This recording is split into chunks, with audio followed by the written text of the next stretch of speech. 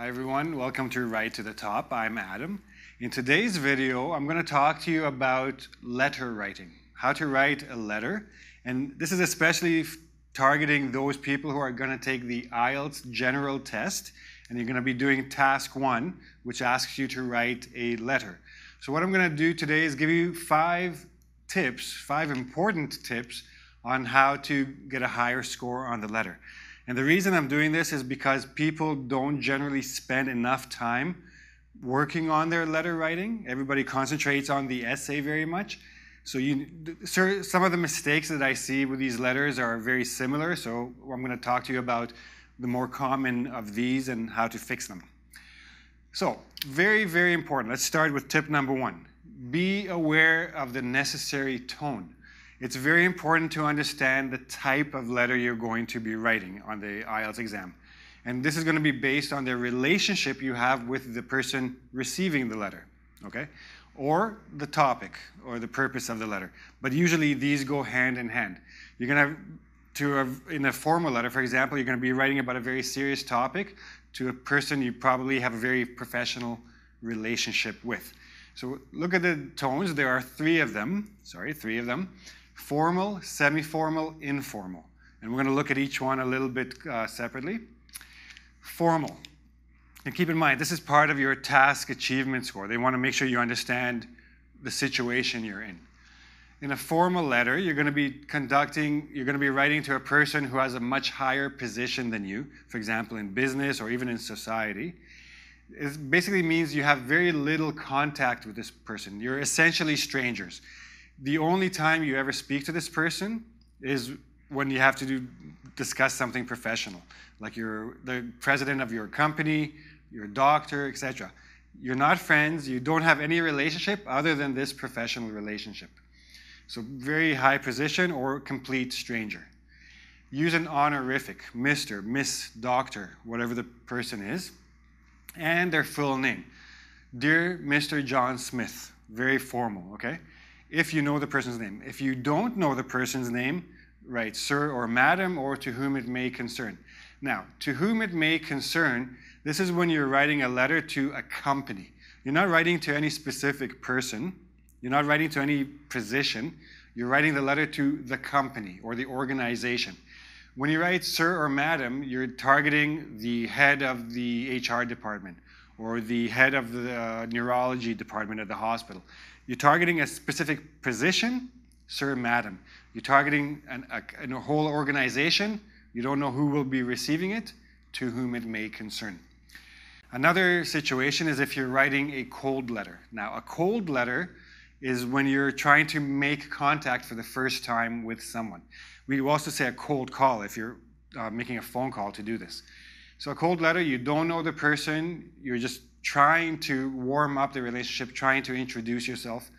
If, for example, if you're applying for a job, if you're requesting information from someone or a, or a group, or if you want the group to take some action, if you want to complain or praise a company or a person, if you want to give them some information, let them know something, all of these things. So you have a very specific person, you don't know the person or the company on the other end, the recipient okay?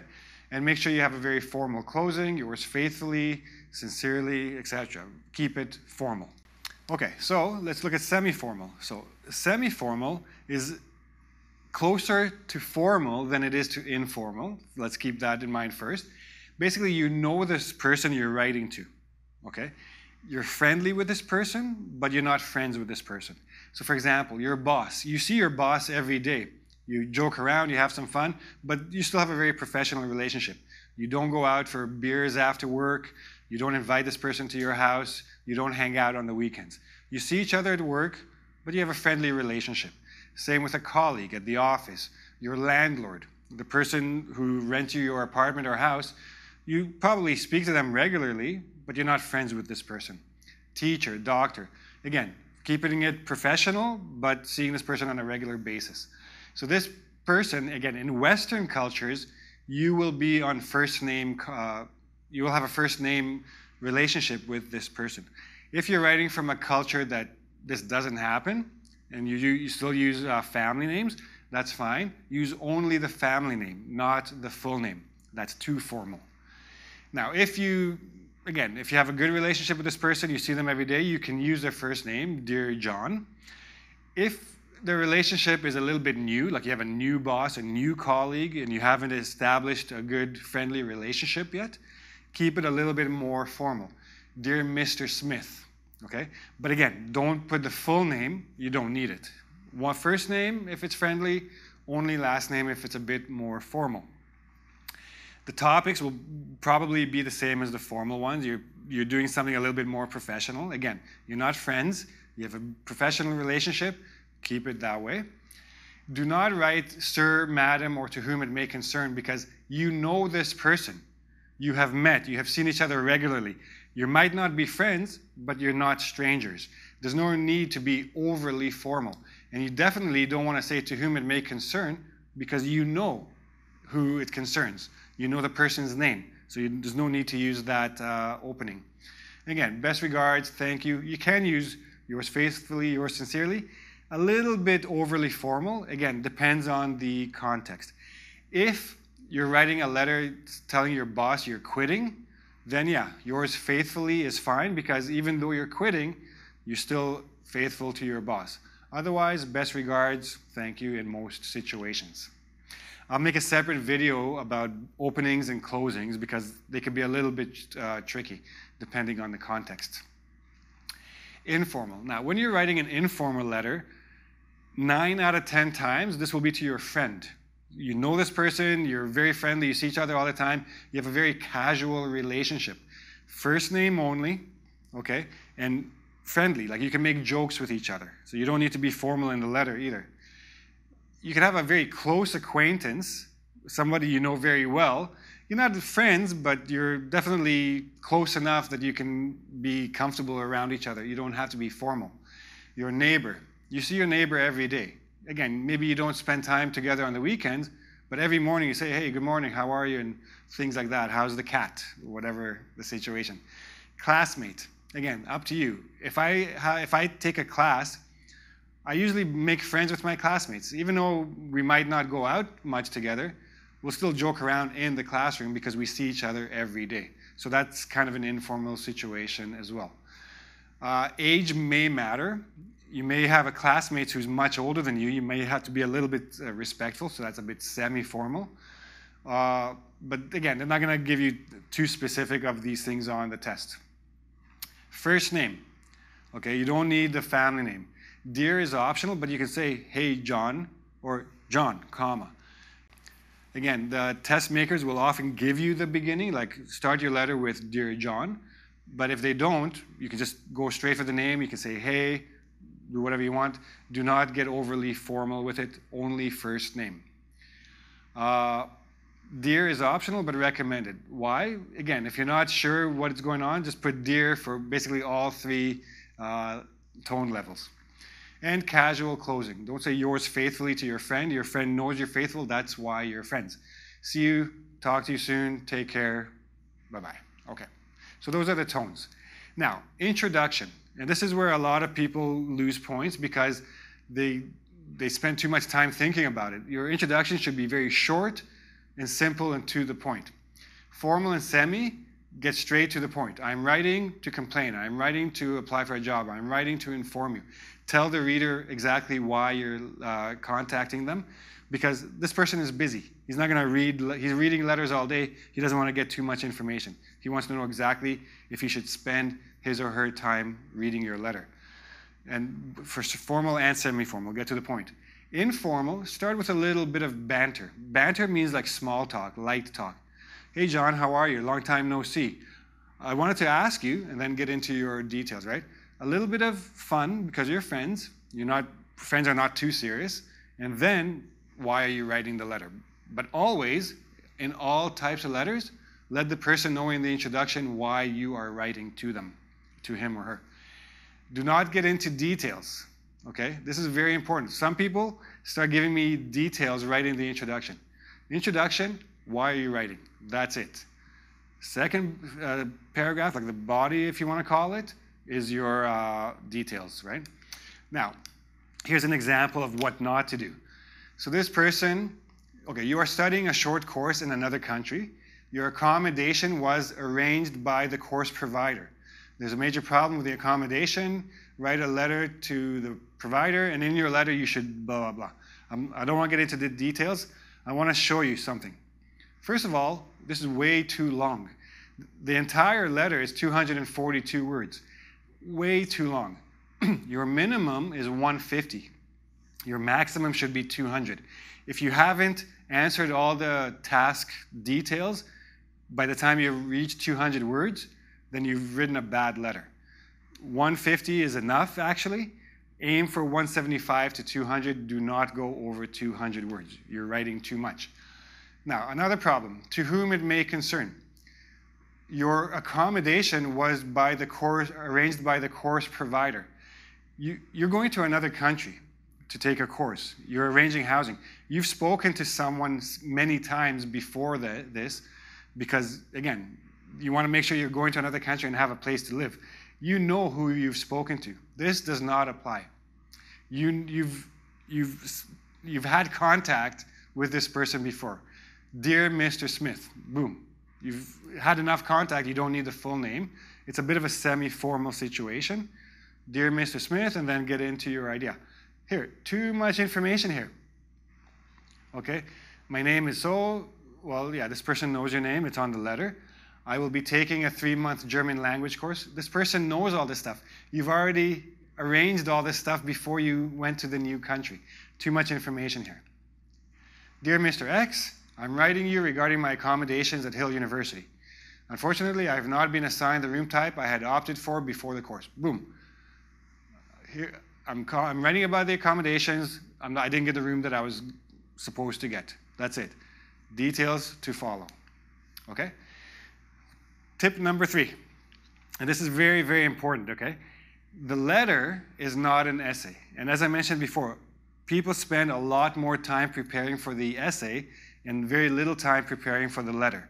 The problem is that quite often people take the tools they've harnessed, the tools they've collected for the essay, and apply it to the letter. And they're going to lose points for doing that.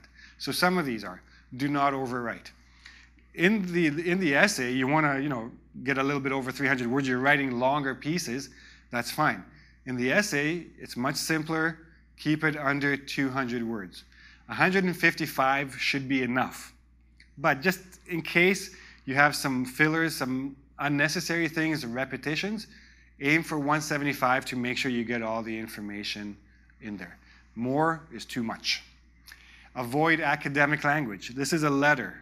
Even if it's a formal letter, it's not an essay. You're not using, it's not academia. You're not in university. Do not write using academic language.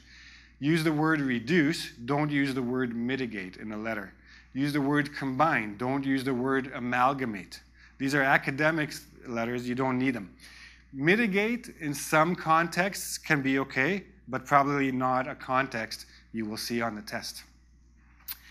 In the informal letter, you can use slang, but be very, very careful about it because if you're not 100% sure what the slang means, you could make a big mistake and uh, have a miscommunication. Okay? Make sure you know the meaning, and even if you do, don't use too much slang. Even with a best friend, just keep it a little bit not too bad. Make sure you know the meanings of the slang you're using. You don't need transitions to get to the new paragraphs, okay? Paragraph one, here's why I'm writing. Paragraph two, here are the details. Paragraph three, here's what I want you to do. There's no, like, you're not, fo- uh, you're not following an argument to a conclusion. You're just giving information. That's all it is. Do not use transitions unless appropriate for the context. So here's the problem, here's the details. With all of this in mind, here's what I want you to do. In that case, this transition is fine, but I'm not using it as a transition to flow to a conclusion. I'm just telling you. Think about this when I tell you this is the action I want you to take. Don't use in contrast. On the other hand, hence, all of these are for the essay. Keep them out of the letter. Make sure you don't have a conclusion. Again, you're not reaching any conclusion, but do make sure you have a call to action to end your letter. And I'm going to talk about, uh, about that in a moment. Okay, so just a bit of a refresher, but keep in mind that your organization should, be a certain way. Have at least three paragraphs. If you have anything less, something's missing or your cohesion is, uh, and coherence is a little bit off. Have your opening, dear somebody, your intro, why are you writing, body two, the details uh, based on what they want you to do in the task. Body three, next steps, what they want you to do in the task again. You're going to have three bullet points. Generally, you, you're going to they're going to tell you write the, the company to do whatever. Tell them what happened where it happened what you want them to do. That's the general idea of this uh, task. But make sure you, each grouping of information has its own paragraph. Closing and then your salutation like your yours faithfully best regards etc closing i'm going to talk to you about in a second as well. You want to make sure it's a little bit of a separate thing by itself as its own paragraph this is very, very important. And a lot of people do not do this, okay? At the end, you want to address the reader directly. You want to tell the reader what is going to happen after they finish reading the letter. Now, do you want them to take some sort of action? Do you want them to give you a refund or compensation or send somebody to fix something? Do you want them to call you? Do you want them to contact you? Do you, do you want them to do something? If so, tell them what you want them to do and tell them how you want them to do it. Do you want them to give you an answer? Tell them that. Do you want them to wait for you to contact them again? Tell them that, etc. Whatever is going to happen after the letter, let the person know what that is, okay? And then I'll show you in an example how to close your, uh, your letter. So you, we're going to look at an example. You took a trip by a bus. I'm going to show you a student sample. This is from an actual test taker. You took a long uh, bus trip. Your suitcase was damaged. Write the bus company. Tell them when and where you traveled, what happened. Describe your suitcase and what happened to it, and what, uh, why you think the company should pay. So here, you're going to tell them why you're writing. You're going to give them the details of when, where, and your suitcase will be one paragraph, and why you think the company should pay. First of all, tell them that they should pay, and then tell them why they should pay. Okay? So here's the original letter I saw, and right away this person lost points. Even before I started reading, I understood that the cohesion and coherence score uh, is going to be low because some, he missed something, this person. This is one paragraph. So I have your opening, introduction, one paragraph, closing, and salutation right away there's a problem. He didn't separate the information into categories that they need to be in. Okay? I rewrote it. Introduction, paragraph one, paragraph two, closing, and uh, salutation. Now, another thing, if you read this whole thing, this person did not describe the suitcase anywhere. Right away, lost points, you didn't get one of the bullets. All I had to do was add well, let's say, an average size blue hardshell Samsonite. One, two, three, four, five, six words I added, and I've answered that bullet point. I have when, where, the type of uh, uh, suitcase, what happened to it. All the details in one paragraph. Next paragraph, I want to tell them what they need to do and how they're going to do it. I can't use it anymore. It happened while your staff was looking at it. I think you should pay me back the replacement cost. You, you may credit this to my credit card or contact me directly to make other arrangements. I want you to pay me back. Do it on my credit card or contact me and I'll tell you how else you can pay me. And then the closing. Thank you for your quick attention to this matter. Tell them at the end what is going to happen. Like, I, I hope you're going to be doing this quickly and I look forward to hearing from you. I look forward to hearing from you because you told them to contact you or to do something. If you're not expecting an answer, then there's nothing to look forward to. Make sure that your closing matches your call to action. Okay? And then close it and you're on your way. This whole letter is about 197, 198 words. So I'm under the 200. I have all the details, nice sentences, some nice vocab, high score uh, for my letter. Okay? And that's essentially all there is to it. Again, practice, don't forget that task one is worth about 33% of your score. don't neglect it. Practice writing letters, but also, of course, practice uh, essay writing, because that's the bigger part of it. If you have any questions about this, please ask me in the YouTube comment section. Uh, if you like the video, give me a like.